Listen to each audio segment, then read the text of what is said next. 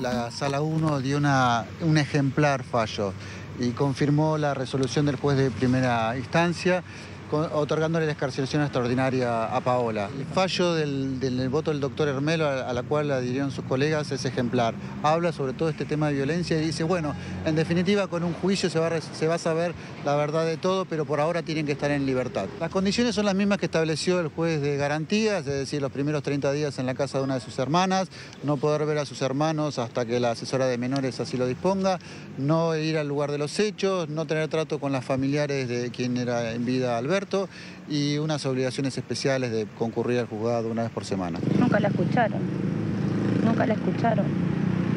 Eso fue lo peor de todo, que nosotros buscamos ayuda y nadie la escuchó a mi hermana. Pero yo siento que hoy sí la escucharon. Hoy sí la escucharon. ¿Cómo está el resto de la familia, el resto de los hijos?